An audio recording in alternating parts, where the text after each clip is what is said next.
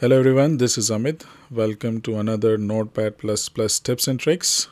In this video, we are going to learn how you can use Markdown in Notepad++. We'll also learn how you can enable syntax highlighting in Markdown language in Notepad++.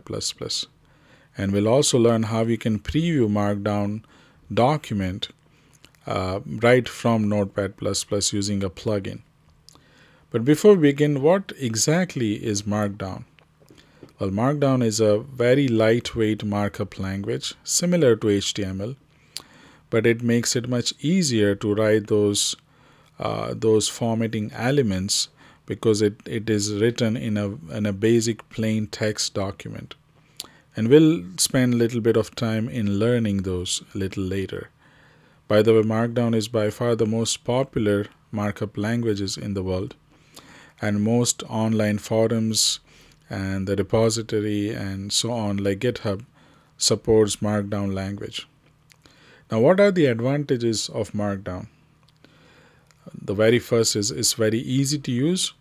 Uh, you just need to remember just few of those uh, special formatting to create a markdown uh, document. And since it is a plain text file it is extremely portable you can easily share with others. And it is also extremely lightweight. I mean there is nothing simpler than a plain text document. It is completely free and it will be free in future as well. And it is also future proof uh, you can easily use this markdown file to convert it into different document formats. For example there are tools out there which can convert your markdown file into a PDF document or a Word document or any other document format. And so there are literally numerous uh, advantages of using Markdown. Now, how can I create a Markdown document in Notepad++? So let's start. We'll create a new document and I'm going to save this as a Markdown file and usually the the the extension is .md or sometimes it's markdown or mdown but usually the most common is md test.md so let's create this just an example. Oh, sorry I need to save it.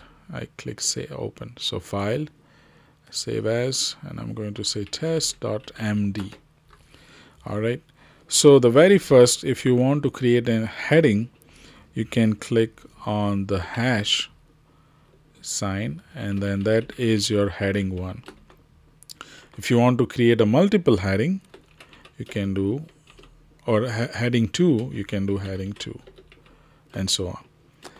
Uh, you can also create a, a very simple list. Let's say unordered list by simply just putting a hyphen. So item 1 item 2 and item 3 if you want an order list you need to just put a number. So uh, numbered list numbered list 2 and so on. And if you want to put a link and image you can do the same thing also.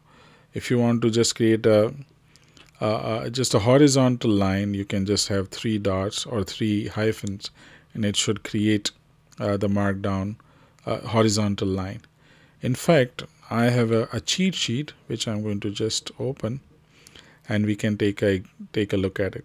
So here is again there is a heading 1 we have heading 2 we have heading 3 and onwards. If you want to make the the text bold you just need to put under 2 asterisk if you want just the text to be uh, italic, you just need a 1 asterisk. And if you want to put a, let's say, a, some kind of a quote, you can just do a greater than sign and that will make, become your block quote. And as I mentioned, you can create an ordered list like this, an unordered list like this.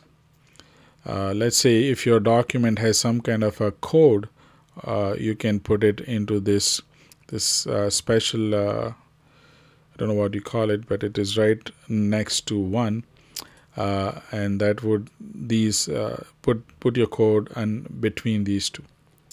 We also saw how you can put a horizontal line and in order to put a link all you have to do is put the anchor text here and then the link that it should point to.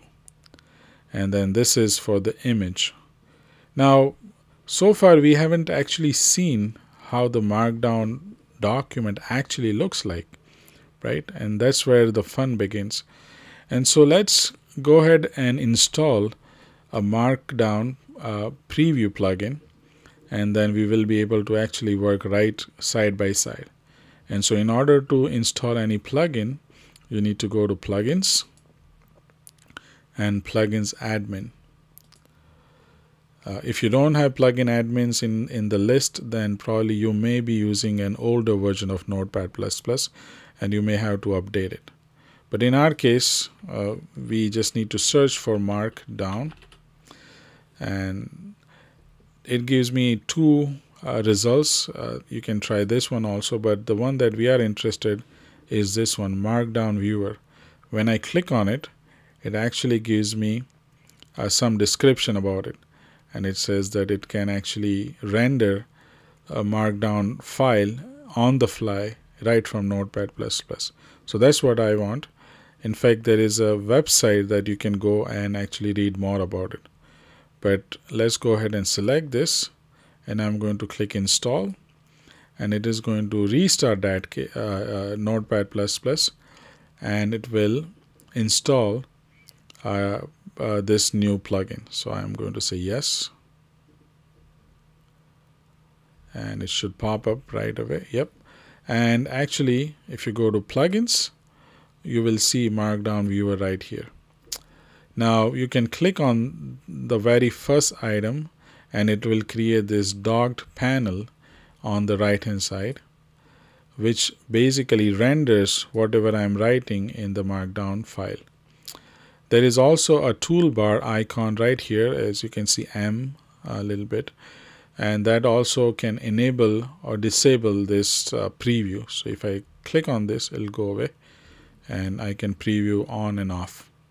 So let's go back to our test.md that we just created and let's see how it looks. So I'm going to click on this and as you can see that it, it nicely put our markdown file into heading 1 heading 2 you know uh, unordered list ordered list and so on even the horizontal line. And let's open this cheat sheet. And as you can see it is able to parse or render all of these uh, uh, all of these uh, formatting elements uh, in a nice way and so that's actually about it. You can actually preview any markdown file uh, using this markdown viewer. Now once you once you created this document and if you would like to save it uh, in as an HTML it also allows you to export this document as an HTML file or even a PDF file. So let's just create an HTML file and it'll just ask you what it's the name of HTML file. I said uh, this one and I'll go and open that. And so this is my HTML file that I just created from the markdown file. Alright now one thing you might notice in the markdown file is that there is a syntax highlighting so how does it or how does Notepad++ know this syntax highlighting for mark, markdown language? Well, if you go to languages menu and if you scroll down all the way at, at, at down, it's basically called a user defined language and there is an option uh, for markdown. And so when you save a document as .md file, it is able to identify this as a markdown document and it is able to give us a syntax highlighting. Now for any reason, if you don't see the syntax highlighting for markdown, you can go to languages and make sure that this is checked or this is selected. And, and it you should be able to see these colors or the syntax highlighting for the markdown file. So again, you can easily preview them using a markdown viewer right from here uh, and then you can disable it as well. And so today we learned how you can just enable the syntax highlighting for markdown and we also learned how you can easily preview that in notepad++ so if you guys made it this far i hope you like this video. So please subscribe to my channel uh, to get more videos like that and if you like please click a like button or just add any comments. Thank you very much. Bye bye